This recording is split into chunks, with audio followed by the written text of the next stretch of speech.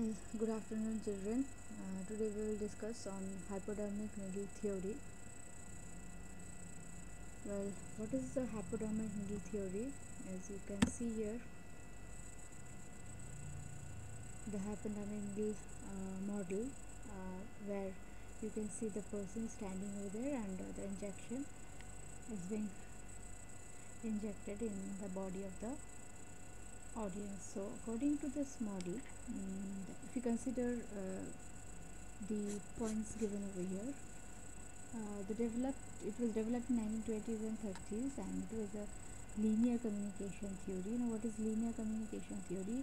As we have discussed before in our previous class, it's a linear model of uh, communication. That means the flow of communication is in a linear way. The path is in a linear way okay there is no scope of uh, getting back to the uh, starting point. So uh, the starting point if you consider is a, a sender of the message okay and the communicator who initiates the communication process. So there is no chance of getting back to the communicator or the sender. So that that's why it is being considered as a linear communication model. Now if you consider the history behind it. Uh, in the mid 1930s, you know, media scholars uh, perhaps found the first theory on media effect and media behavior. So it was based on media effect and media behavior, this theory. During Second World War, media played a vi- vital role in both, you know, United States and Germany. Have heard of it. To made uh, influence in the people's mind. So media played a very important role at, the, at that time, you know, during the uh, United States and uh, in the United States and the Germany. The Germany Hitler's, you know, you have heard of the Nazi movement. So at that time, Hitler also used this film industry for propaganda. They produced lots of movies about their achievement, which made a great impact in Germans' mind, the mind of the German. You know, they need, you know, to, to gather, uh, you know, opinion, to gather, you know, favor in uh, the Nazi movement, isn't it? In the favor of the Nazi movement. So that's why they were doing all this propaganda. And this propaganda actually, you know, uh, highlighted the, the, the positive aspect of the uh, Nazi movement. Okay, so that's unity model. Now later on, the United States also its uh, own Hollywood, you know, produced lots of films. You have heard of, isn't it? It's happened one night, or It's a Wonderful Life, or uh, the famous, uh, you know, the Mr. Smith goes to Washington. It portrayed Germany as a evil force, of, of obviously, and uh, and uh, you know it so showed the uh, the the good of the the good aspects or the positive aspect of the American life. So that's why um, it also had a great impact in the American mind. So they were also you know gathering uh, public opinion against the Germans. Okay, so media actually rejection. Okay so according to this theory uh, the hypodermic needle theory or uh, we can say well uh, that the, we can say the bullet theory okay? It is also known as the magic bullet theory. Uh, now the the basic point is that the message is a bullet fired from the media gun into the viewer's head. Okay and uh, the hypodermic model also suggests that media messages are injected straight into a passive audience. You know the here the audience is very uh, inactive you know it's like a sitting duck right? And whatever message is coming it is getting into their head without any kind of resistance or without any kind of abstraction. So uh, that is the media injects the message into the audience mind and it causes uh, change in audience behavior and psyche towards the message. Audience are passive and they, and they cannot resist you know the media message that is what is called as hypodermic needle theory. Now, both this bullet and the magic theory, you know, uh, deals with the impact of media message in audience mind and how audience react towards a message without any hesitation. Now, if you consider an example, uh, we can give uh, the example of a radio program that was broadcasted in uh, that is famously known as Orson Welles, you know, the, the radio broadcasting program called uh, The War of the Worlds.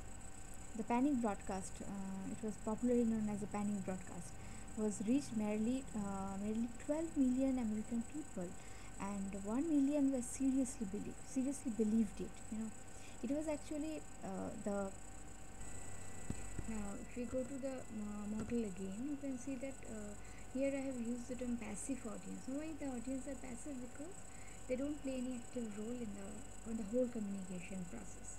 And uh, no individual differences means uh, what do you mean by no individual differences? That don't, they don't have any individual identity okay? So when the communicator actually initiates the communication process uh, they think that uh, you know the mass will accept it in a uh, similar way in the same fashion okay? Uh, there will be no differences in acceptance so the acceptance level will be same. So you know they think that people don't have any individual identities. They have the same face. All the individual people all the people all the general common people they have a, indivi- uh, a common face okay? So they don't have any individual identity and that's why they um, think that uh, the message will be received uh, in an equally uh, uh, equal way you know in a in a in a in a uniform way okay the message will be accepted. So considering uh, model we can uh, say that uh, the basic idea of the formula was primarily concerned with mass communication and manipulation of public opinion as I've already told. Uh, and uh, besides that you know another thing that uh, if you consider uh, communication model uh, we'll find that you know there is there are various elements of communication. You can clearly see that. Who means the sender. What says means the message in what channel means the media? To whom means the audience? Okay and what what effect means the feedback or the influence. So if you consider this as a separate elements you know you can actually go on for research in a in a particular way okay? Uh, that means control analysis if we find that uh, control analysis the person is controlling the whole communication process that is the communicator what is effect analysis that means the inference okay?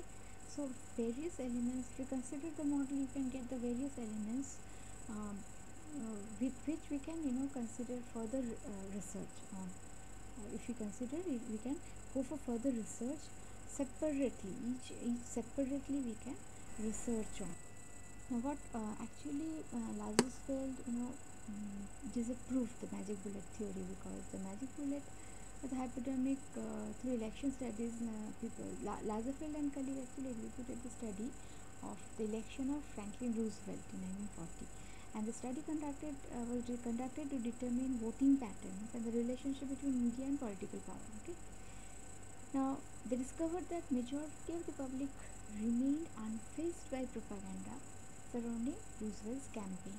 Now as it was thought that the propaganda had a direct effect so Laz Lazarsfeld found that uh, they have you know they don't have any direct effect okay so because they in, instead interpersonal outlets proved more influential than the media. and in, in fact you know uh, we have uh, we will study Lazarsfeld's two-step flow of communication where we will uh, see that how uh, you know the direct information the the concept of direct info the the, uh, the message uh, going directly into the head of the audiences we will see that how you know the the flow of message or the flow of communication you know is uh, seen in a different phases okay or in a different steps. There are few steps before you know reaching the audience the message reaching the audience and we will find uh, the concept of opinion leader coming out okay? And who are the opinion leaders? The person who are actually you know uh, being close to the power or being close to the communicator okay? So the message comes to the opinion leader and from the opinion leader it goes to the um, audiences okay? So uh, Lazarsfeld actually you know therefore concluded that the effect of the campaigns were not all powerful to the point where they completely persuaded helpless audience. Hmm?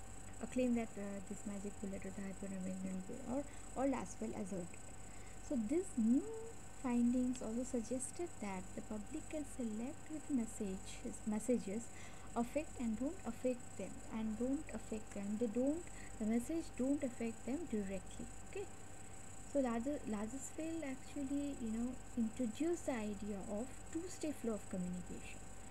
And Katz also contributed in the, mo uh, the model in 1955 through studies and publication okay?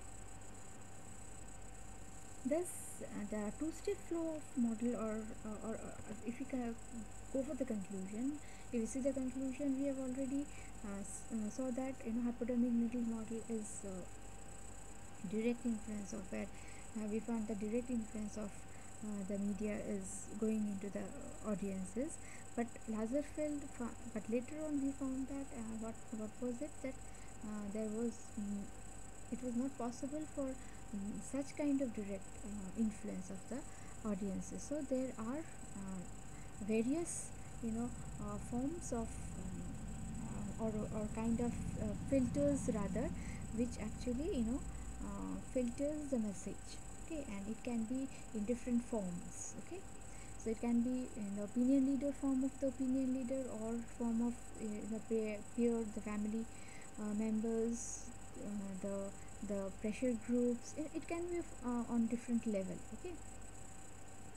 So that uh, kind of uh, due to that kind of filters or that kind of you know individual persons the influence is we cannot say that the influence is direct that this two, uh, two-step model uh, and other communication theory suggests that media does not directly have an influence on viewers anymore. Instead, interpersonal connections and even selective exposure, we'll later on discuss on this about, played a very large role in influencing the public in the modern age. Now, if we consider this, you know, uh, that a similar theory that is uh, that has to be examined by having a full-scale idea of this kind of effectiveness is rationalization theory in order to understand the previous theories. That means uh, how much is this model effective? Uh, we will consider it and since this is the uh, total influence theory, if we consider the uh, limited effect theory, then we will go for limited effect theory. We will see that how this know, total effect theory is uh, limited the limitation that the, the, the idea is a uh, bit limited you know uh, had some kind of uh, limitations. And now to end with we can consider the contemporary scenario and the, the use of you know, this big data analytics to identify user preferences and to send tailor-made messages to individuals led led back to the idea of one-step flow of communication, which is principle similar to the hypodermic.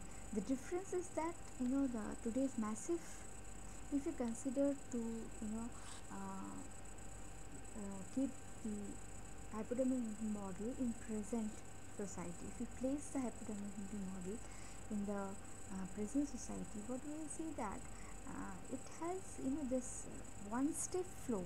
If you can consider the hypodermic model as a one-step flow.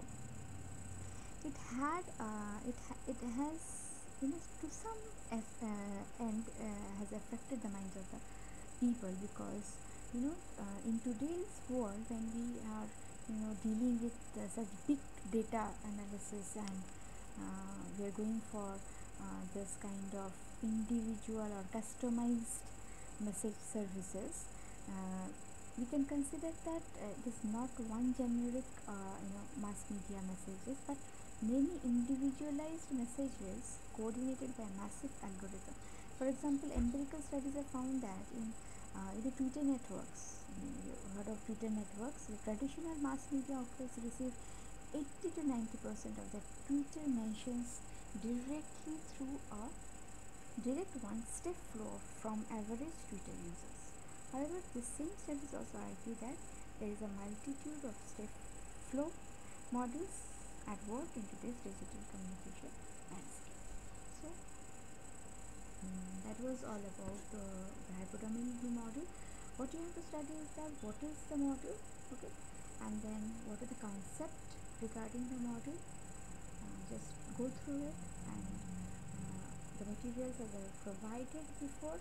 Uh, just go through it and have an idea of what is this, this hypodermic needle model uh, what the theory is based on what ideas or concepts and how is it possible uh, to consider this kind of model in today's present present society whether it is applicable or not.